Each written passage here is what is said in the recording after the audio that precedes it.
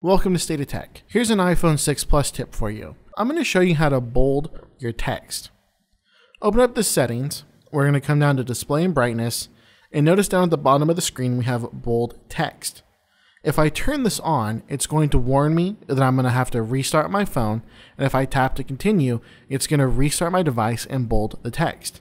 I'm going to go ahead and do so, and we're going to jump right back in.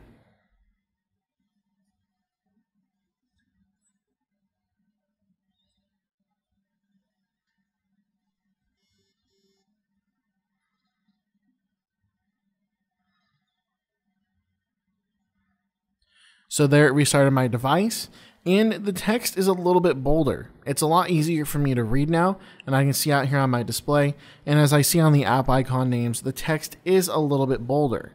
And even if I come in the same messages and I were to open up a message, even right here on the main screen, you can see everything is really bold and it really stands out and it's a lot easier to read.